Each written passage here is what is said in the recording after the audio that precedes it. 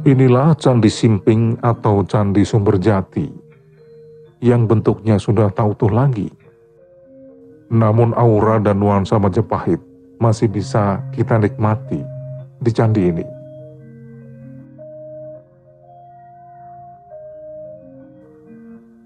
Sayangnya candi yang sangat bersejarah dan monumental ini tak banyak dikenal karena minim pengunjung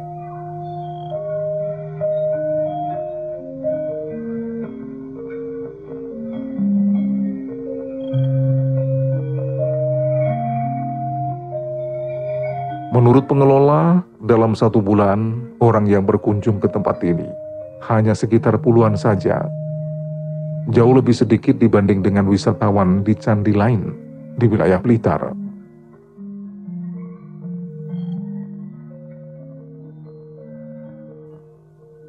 Candi Sumberjati tidak begitu diminati sebagai tujuan wisata karena bentuknya yang tidak utuh lagi.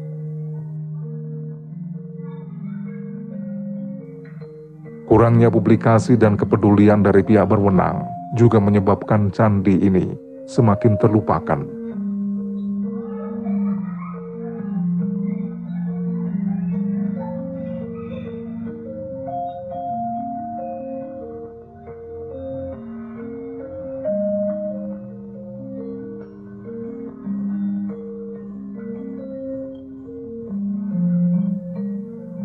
Secara kasat mata, candi ini memang bentuknya sangat memprihatinkan. Karena hanya berupa lantai pondasi atau kaki candi saja. Batu-batu candinya sendiri telah ditata di pinggir area ini.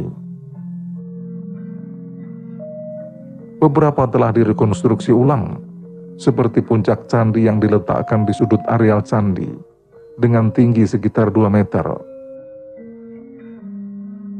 sementara bangunan utuhnya sama sekali telah runtuh.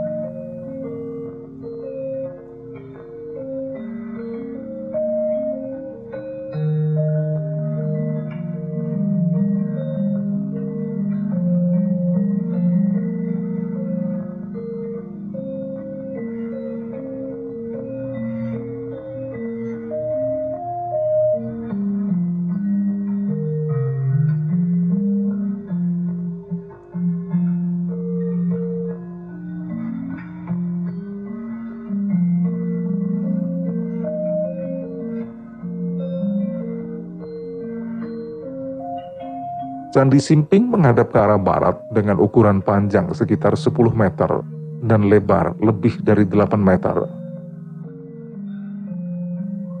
Pada sisi barat terdapat tangga yang dulu digunakan sebagai jalan masuk ke ruangan candi.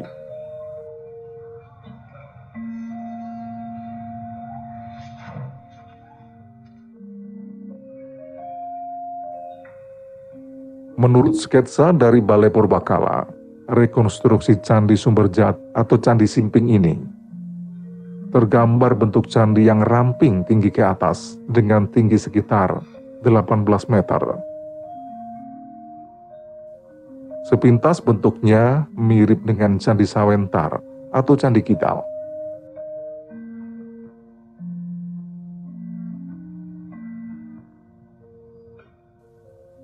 Pada batur candi setinggi 75 cm, panjang 600 cm, dan lebar 750 cm ini, terpahat relief berbagai macam binatang.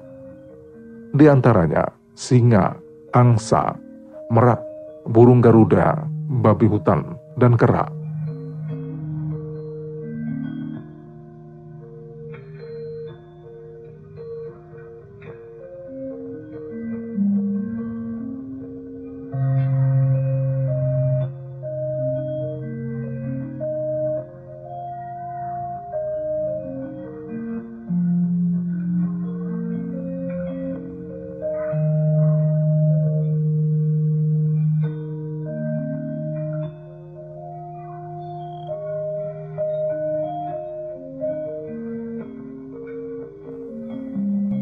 Candi Sumberjati yang terletak di Dusun Kerajaan, Desa Sumberjati, Kecamatan Kademangan, Kabupaten Blitar ini, merupakan candi makam Raden Wijaya atau Sri Kertarjasa Jayawardana. Pendiri sekaligus raja pertama kerajaan Majapahit yang wafat pada tahun 1309.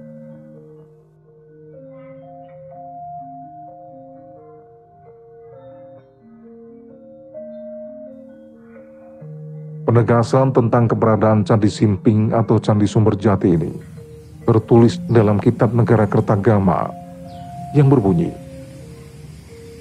Tahun Saka Surya mengitari bulan atau 1231 Saka atau 1309 Masehi Sang Prabu Raden Wijaya wafat disemayamkan di dalam Pura Antahpura begitu nama makam dia. Dan di makam Simping ditegakkan Arca Siwa.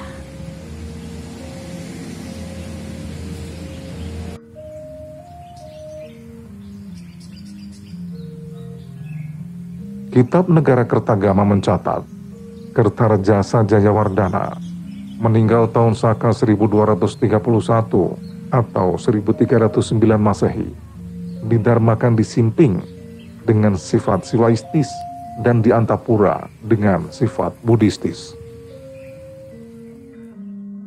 Pada Candi Simping atau Candi Sumber Jati ini terdapat arca harihara setinggi 2 meter yang kini disimpan di Museum Nasional.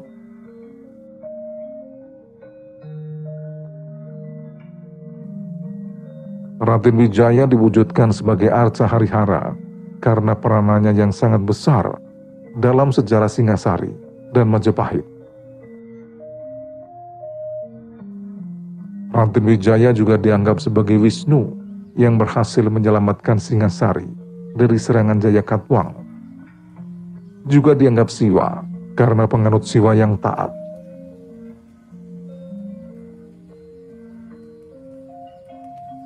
Harihara berasal dari kata hari sebagai nama lain Dewa Wisnu dan Hara nama lain Dewa Siwa.